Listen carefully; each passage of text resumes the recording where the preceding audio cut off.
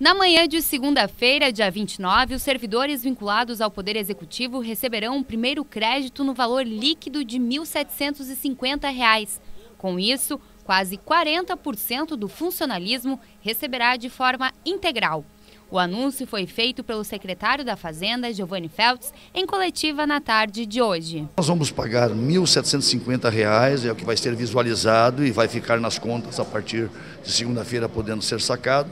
E no transcorrer do dia, na medida que confirmarem-se recursos que possam adentrar tanto da origem federal quanto do ICMS, nós vamos creditando para os servidores. O secretário reforçou a transparência do governo em relação à situação financeira do Estado e o esforço na busca do equilíbrio financeiro. E que tenham a compreensão de que esse tamanho de confusão econômica financeira por que passa o Estado do Rio Grande do Sul, por óbvio, não, só, não pode ser imputada ao atual governador Sartori ou a mim ou ao conjunto desse governo.